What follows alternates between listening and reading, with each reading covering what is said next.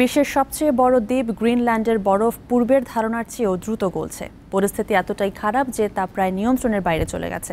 সম্প্রতি যুক্তরাষ্ট্রের Ohio state ইউনিভার্সিটির একটি গবেষণায় এই তথ্য উঠে এসেছে। এতে বলা হয়, গ্রিনল্যান্ডের বরফ গলা পানির কারণে সমুদ্র উপকূলবর্তী দেশগুলো মারাত্মক ঝুঁকিতে পড়তে পারে।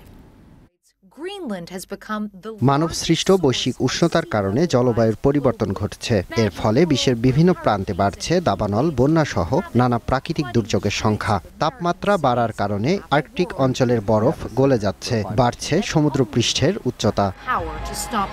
বৈশ্বিক উষ্ণতার কারণে বিশ্বের সবচেয়ে বড় দ্বীপ গ্রিনল্যান্ড পূর্বের ধারণার চেয়ে আরও বেশি হুমকিতে রয়েছে। সম্প্রতি যুক্তরাষ্ট্রের ওহাইও স্টেট ইউনিভার্সিটির একটি গবেষণায় এই তথ্য উঠে এসেছে। এতে বলা হয়, গ্রিনল্যান্ডের বরফ পূর্বের ধারণার চেয়েও দ্রুত গলছে। এই পরিস্থিতি এতটাই খারাপ যে তা প্রায় নিয়ন্ত্রণের বাইরে চলে গেছে। গবেষণা দলের প্রধান মাইকেল বেভিস বলেন, ঐতিহাসিকভাবেই গ্রিনল্যান্ডের বরফ নির্দিষ্ট নিয়মে গলত, তবে তাপমাত্রা বাড়ায় এখন তা আরও বেড়েছে। পাশাপাশি বরফ গলে সমুদ্রপৃষ্ঠের উচ্চতা বাড়ায়। বরফখণ্ড সমুদ্র থেকে নদীতে চলে যাচ্ছে।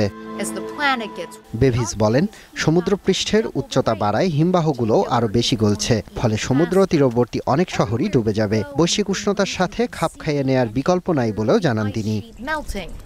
বিশ্বের মোট জনসংখ্যার শতকরা চল্লিশ থেকে পঞ্চাশ ভাগ মানুষ সমুদ্র উপকূলের ঝুঁকিপূর্ণ অঞ্চলে বাস করে। বৃহত্তম দশটি শহরের আটটি গড়ে উঠেছে উপকূলবর্তী ঝুঁকিপূর্ণ অঞ্চলে। গবেষণায় বলা হয় গ্রিনল্যান্ডের বরফ গলা পানির কারণে বাংলাদেশ সহ উপকূলবর্তী এসব অঞ্চল মারাত্মক ঝুঁকিতে রয়েছে। লিপ্টন কুমার দীপ্ত বার্তাকক্ষ।